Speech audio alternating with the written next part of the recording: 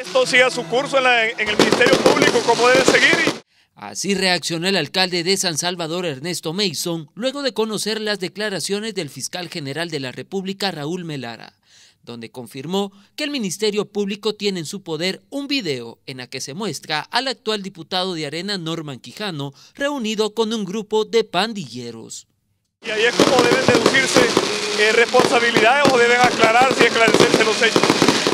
El edil capitalino aseguró que si los fiscales de la unidad antipandillas lo citan en los próximos días para dar su versión sobre la supuesta participación que él tuvo con pandilleros, él, sin ningún problema, llegará.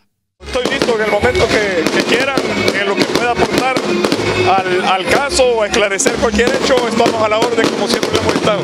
Dejó en claro que se mantiene al margen sobre las acusaciones que ha hecho el presidente de la República Nayib Bukele a Gustavo López Davison por haber vendido un lote de armas de guerra en mal estado al ejército salvadoreño. Este es un informe para Noticiero Hechos de Ernesto Cornejo.